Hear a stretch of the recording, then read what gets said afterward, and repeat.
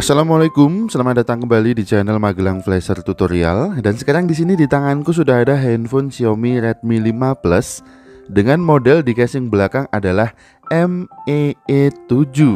Jadi handphone ini versi distributor karena memang tulisannya Cina semua ya. Kemudian modelnya ini bisa kita lihat MEE7, bisa juga MET7. Kemudian kasusnya adalah handphone ini terkunci akun Mi-nya tidak bisa sampai ke tampilan menu, hanya bisa sampai ke tampilan connect jaringan dan tampilan kunci seperti ini. Bagaimana caranya untuk kita unlock MyCloud-nya agar handphone bisa digunakan lagi? Oke, kita asumsikan aja handphone ini masih terkunci bootloadernya dan akan kita lakukan flashing firmware MyCloud-nya melalui metode test point. Karena kita akan melakukan flashing dengan metode test point, maka kita harus membongkar casing belakangnya. Jadi kita anggap handphone ini masih terkunci bootloadernya. Kita akan melakukan flashing dengan metode test point untuk masuk ke download mode 9008. Bagi yang sudah terunlock bootloadernya, silahkan bisa flashing menggunakan metode fastboot mode. Oke ya. Kemudian untuk melakukan test point, handphone harus dalam keadaan off atau dalam keadaan mati. Karena tidak bisa kita matikan dengan cara normal, maka langsung aja bisa kita lepas soket baterainya. Kita congkel aja soket baterainya ini sampai handphone mati dan tampilan layarnya jadi gelap. Kemudian kita bisa melakukan test point menggunakan pinset tajam dan ini adalah dua titik test pointnya yang akan kita hubungkan menggunakan pinset tajam.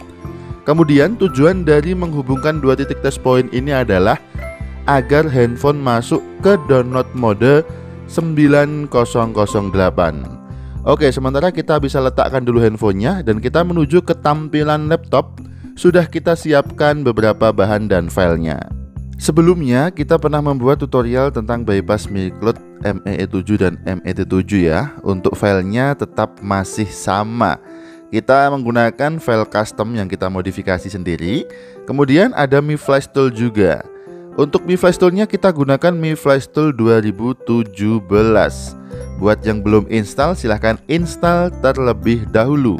Bagi yang sudah install silahkan bisa lewati langkah ini karena saya sudah install, maka saya close aja untuk proses installnya. Dan setelah selesai install, Mi Flash Tool-nya akan muncul shortcut di desktop PC-nya. Bisa kita jalankan langsung untuk Mi Flash Tool-nya seperti ini. Nanti firmware-nya akan kita masukkan pada kolom di Mi Flash Tool-nya. Untuk firmware bypass MiCloud-nya maksudnya ya, akan kita masukkan ke sini. Dan sementara bisa kita minimize dulu Mi Flash Tool-nya. Kemudian langsung kita ekstrak aja untuk firmware MyCloud-nya.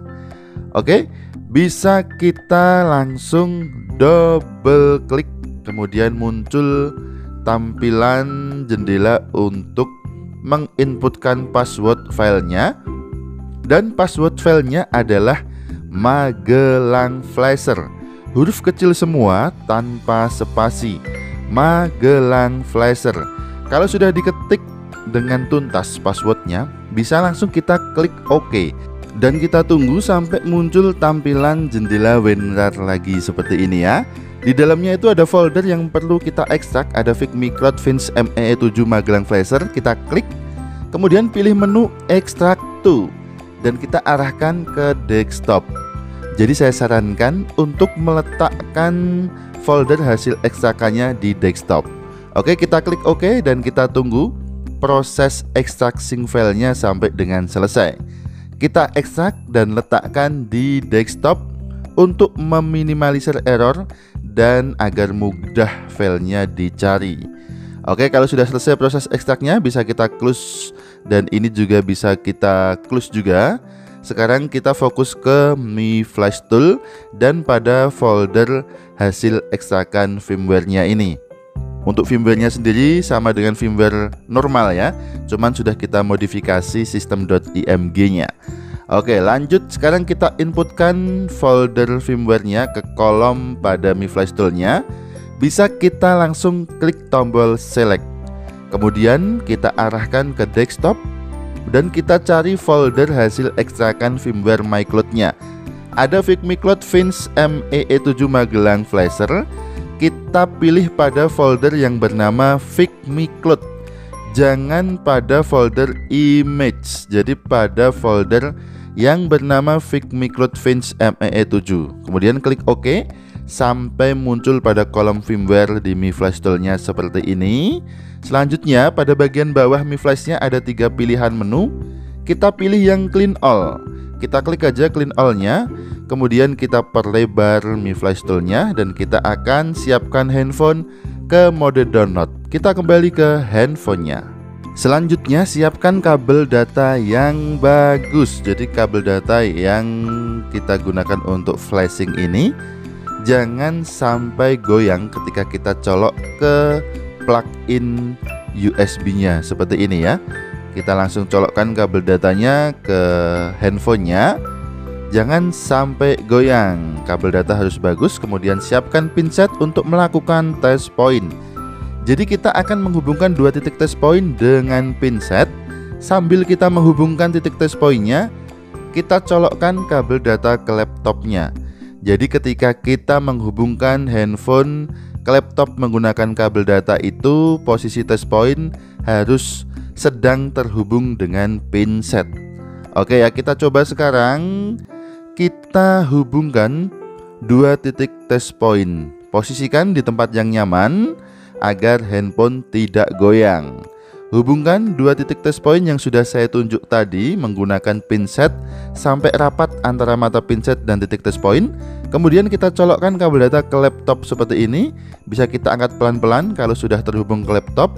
Dan kita sekarang menuju ke tampilan laptop atau PC kita lihat statusnya dulu.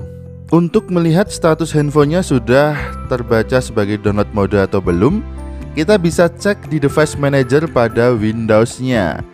Oke, kita masuk ke device manager. Kemudian fokus pada bagian Podcom dan LPT.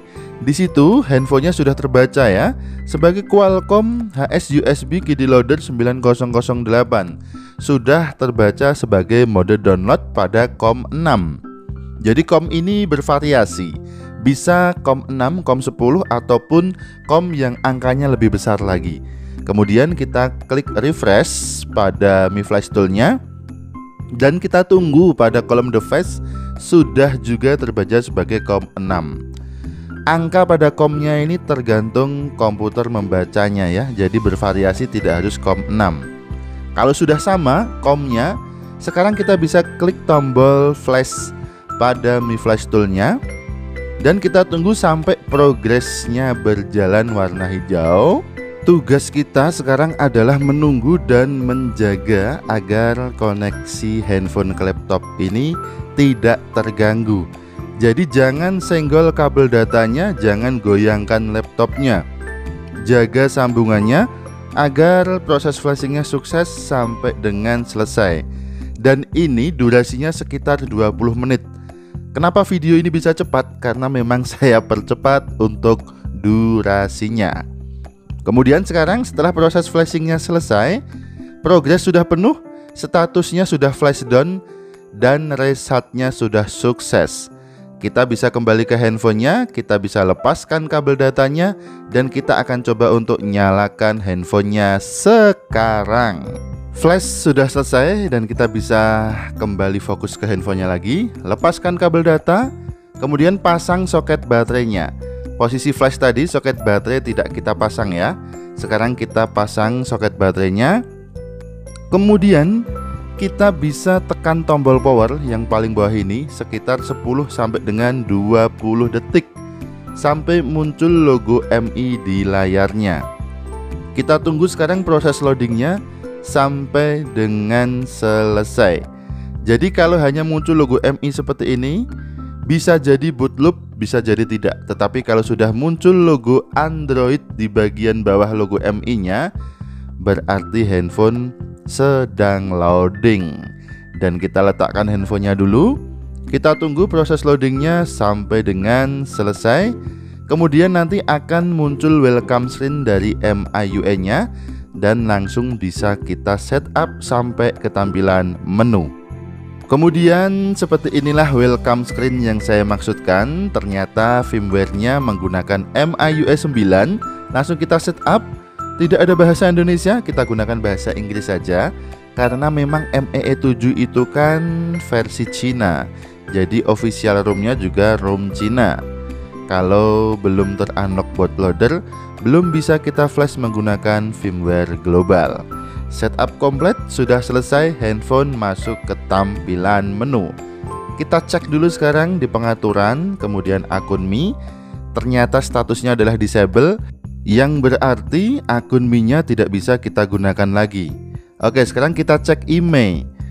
Kalau yang emailnya tidak muncul seperti ini, bisa lihat tutorial cara fix email Redmi 5 Plus Fins. Untuk link tutorial fix emailnya sudah saya sertakan di deskripsi video. Selanjutnya kita cek sensornya. Ternyata sensornya aman. Jadi bisa kita lihat ya, ini sensor proximity atau sensor teleponnya aman. Bisa merespon tutupan tangan saya. Jadi fix email, fix sensor, namun akun minnya disable. Kita cek sekarang, kita hubungkan ke internet via jaringan WiFi dan akan kita lihat apakah terkunci kembali atau memang sudah aman dan handphone bisa kita gunakan lagi. Bisa kita lihat sudah terkoneksi ke jaringan WiFi dan sudah terhubung ke internet. Sekarang kita cek akun Mi-nya masih tetap disable dan tidak ada notifikasi terkunci lagi. Kemudian cek di tentang telepon MIUI version di sini ada pembaharuan yang tidak boleh kita download, tidak boleh kita update. Karena jika kita update MIUI-nya, otomatis nanti akan terkunci lagi. Kita matikan aja download automatically-nya. Kemudian ada notifikasi update ini kita bisa hapus saja. Sekali lagi jangan kita update firmware-nya, jangan kita update MIUI-nya. Cukup handphone seperti ini asal bisa kita gunakan lagi hanya ada App Store official dari Xiaomi aja, tidak ada Google Play Store. Kemudian bagaimana cara menginstal Google Play Store-nya nanti akan kita bahas pada video selanjutnya tentang tutorial cara menginstal Google Play Store pada Xiaomi Redmi 5 Plus yang menggunakan ROM China. Oke, sekarang proses flashing micloud-nya sudah selesai. Handphone kita kembalikan lagi tutup belakangnya dan siap kita kembalikan ke usernya. Atau jika mau fix kita instalkan Google Play Store dulu. Dan terima kasih sudah menyimak tutorial ini mudah-mudahan bermanfaat. Ingat tetap jaga harga servisan. Kemudian akhir kata dari kami wassalamualaikum warahmatullahi wabarakatuh. Dan tentu saja mantap jiwa